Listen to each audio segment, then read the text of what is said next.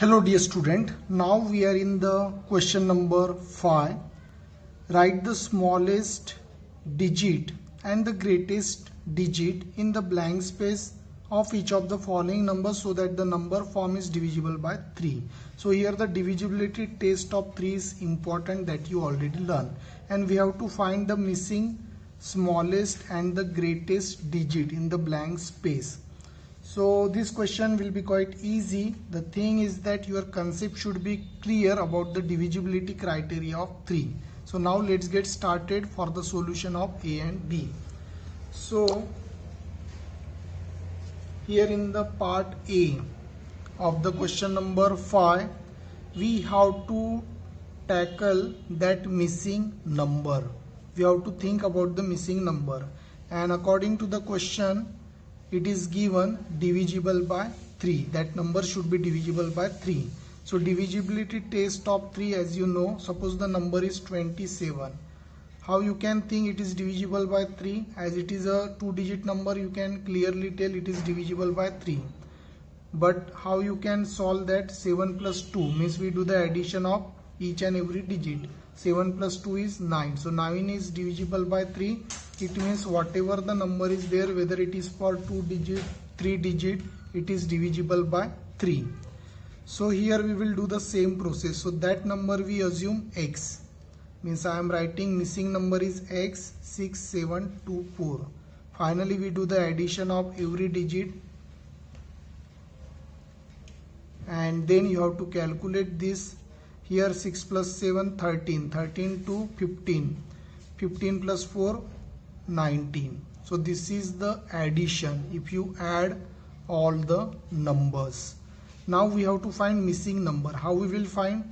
After 19 which number is there so that it will be divisible by 3 if you clearly add 2 it will become 21 21 is divisible by 3 so this number is 2 because after 19 here you can specify the list. After 19 next number is 21 so that it will be divisible by 3 after 21 it is 24 then 27 then 30 so on many numbers are there.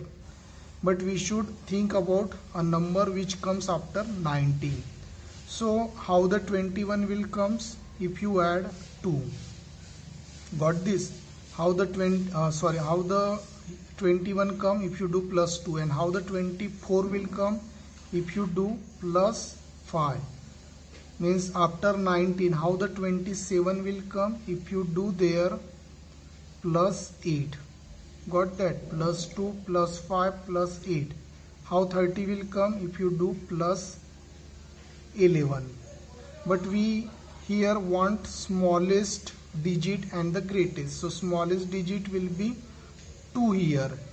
If you add 2 it will become 21 so here the smallest digit will be 2 so you can write here smallest digit is 2 and what about the greatest? Greatest cannot be 11 because we want one digit number. So here greatest will be 8 so you write here greatest digit is 8 so that their sum will come 27 and it will be divisible by 3 smallest will be 2 so that their sum will be 21 and it will be divisible by 3 so this is the clear concept of this question. Now b. Same procedure is there.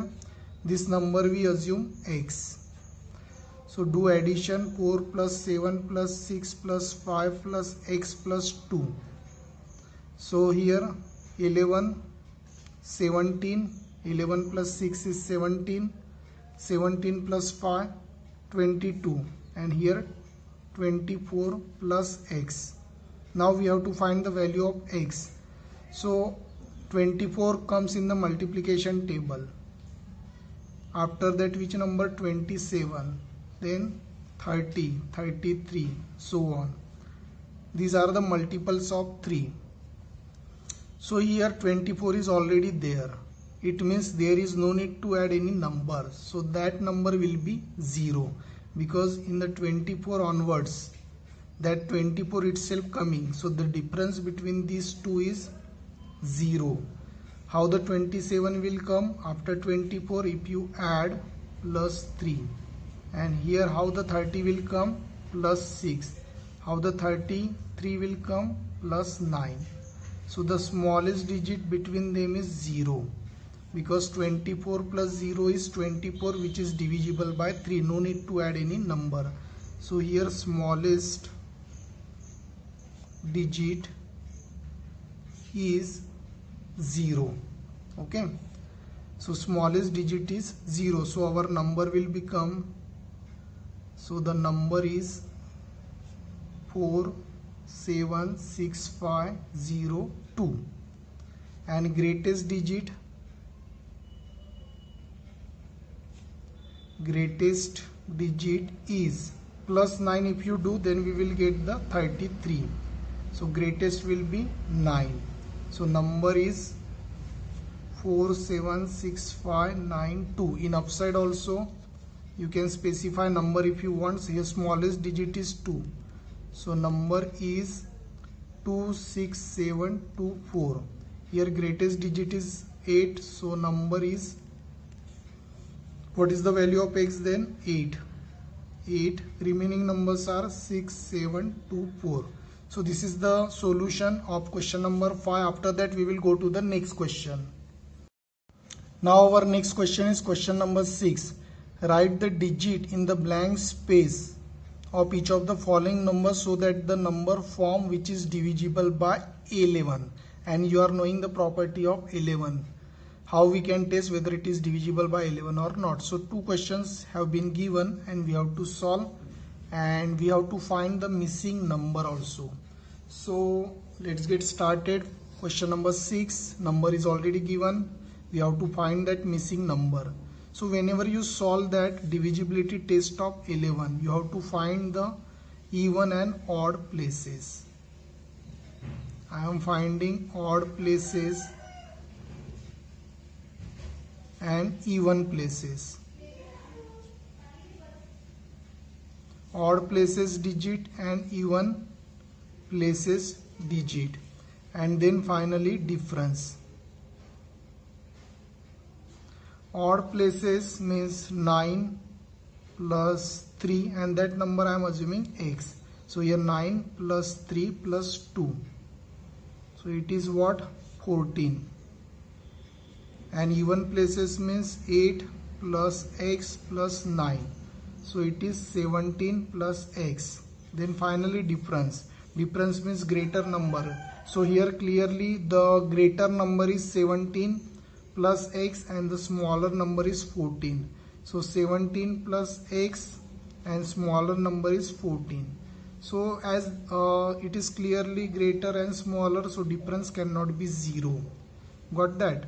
So we should write equals to 11 we cannot write here uh, at present 22 33 because you know the property and divisibility test of 11 either difference is 0 or the multiples of 11 but you should write 11 because we want single digit number. So calculate the difference. 17 minus 14 is 3 plus x 11 so it means x equal to what is the answer? 8